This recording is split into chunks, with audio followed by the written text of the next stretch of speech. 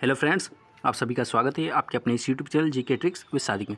तो दोस्तों we one justice जी हाँ friends we one justice N T P C C B T one का रिज़ल्ट जो कि जिसमें बहुत बड़ी धंधी देखी गई है, उसमें जो है N T P C revise result के लिए एन टी पी सी छात्रों के लिए एक और महाआंदोलन शुरू होने जा रहा है। जी हाँ फ्रेंड्स, कल जो है सोलह जनवरी को कल 16 जनवरी को रात को 10 बजे सभी टीचर्स के द्वारा एक फिर से जूम मीटिंग रखी गई थी, जिसमें फाइनली ये डिसाइड किया गया था कि एक बार फिर से महाआंदोलन शुरू किया जाएगा, जिसमें कि ये डिमांड होगी कि एक स्टूडेंट को एक ही रिज़ल्ट दिया जाए। जी हाँ फ्रेंड्स एक स्टूडेंट के लिए एक ही रिज़ल्ट हो और दूसरी बात यह है कि रिवाइज रिज़ल्ट इसके रिगार्डिंग मतलब कि एन टी पी वन का जो है रिवाइज रिज़ल्ट रेलवे द्वारा घोषित किया जाना चाहिए। तो ये दोस्तों एक और महा आंदोलन शुरू होने जा रहा है, जिसमें फाइनली सभी टीचर्स ने यही निर्णय लिया है कि आपका हैशटैग क्या होगा इस महा आंदोलन के लिए और ये हैशटैग कब आपको रिवील किया जाएगा। रिवील तो नहीं मतलब कि आपको ये हैशटैग लगा करके कब अपना आंदोलन चलाना है, इसके बारे में हम इस वीडियो में बात करेंगे। तो दोस्तों support students save your railways and save your own futures जी हाँ फ्रेंड्स जिन कैंडिडेट्स का भी हुआ, उनमें से भी कई सारे कैंडिडेट्स हैं, जिन्होंने एस वन का रिज़ल्ट का विरोध किया है। जी हाँ फ्रेंड्स कई सारे सिलेक्टेड कैंडिडेट्स ने भी इसका विरोध किया है क्योंकि उन्हें भी पता है कि इसमें जो है बहुत बड़ी गड़बड़ी की गई है। तो चलिए दोस्तों, हम वीडियो को शुरू करते हैं। इससे पहले जो चैनल पर नए प्लीज़ चैनल को सब्सक्राइब ज़रूर कीजिएगा। बेल आइकन ज़रूर दबाएगा रेलवे भर्ती बोर्ड की पल पल की अपडेट्स के लिए। तो चलिए दोस्तों, वीडियो को हम शुरू करते हैं। तो देखिए दोस्तों, ये ही वो पेज है जहाँ पर आपका आंदोलन के बारे में आपको बताया गया है। जी हाँ फ्रेंड्स दिनांक 18 जनवरी 2020 है 2022 ठीक है? दिनांक 18 जनवरी 2022 दिन मंगलवार मतलब कि आपका कल का दिन। समय सुबह ग्यारह बजे से ट्विटर कैंपेन के लिए सभी शिक्षकों को फाइनल हैशटैग है।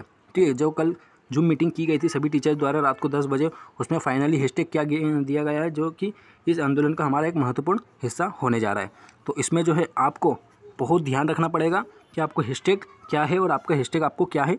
मतलब लगाकर चलना है। इसको ज़रा भी इधर से उधर आपको कैपिटल स्मॉल में कोई भी फ़र्क नहीं लाना है। जैसा दिया गया, वैसे ही मतलब आपको हैशटैग चलाना है सेम एज इट इज़ तभी आप अपने ट्रेंडिंग में हो पाएँगे और आपकी डिमांड पहुँच पाएगी ऊपर तक के। ठीक है? तो चलिए देख लेते हैं हम दोस्तों।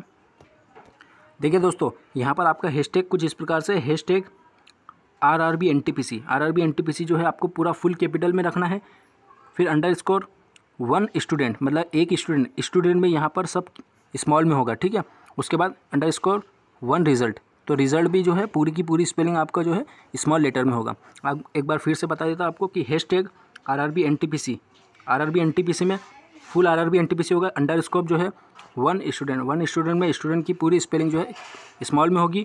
उसके बाद जो है under scope one result result की भी जो है, पूरी स्पेलिंग जो होगी, वो स्मॉल लेटर में होगी। तो यही आपको ध्यान रखना है। यहाँ पर आपको बता दें कि नीचे भी लिखा है कि R R B N T P C all capital letters student are letters are small letters और रिज़ल्ट जो है, वो भी आपका स्मॉल लेटर्स में होना चाहिए। तो उम्मीद करता हूँ दोस्तों कि आप ज़्यादा से ज़्यादा अपने दोस्तों के साथ इस वीडियो को शेयर करेंगे और इस आंदोलन में भाग लेने के लिए बोलेंगे, क्योंकि कई सारे कैंडिडेट्स के साथ यहाँ पर रेलवे ने धोखा किया है। जिन कैंडिडेट्स का सिलेक्शन हुआ, उन्होंने भी इस सिलेक्शन का विरोध किया है कि रिज़ल्ट जो है, पता नहीं किस प्रकार से बनाया गया है।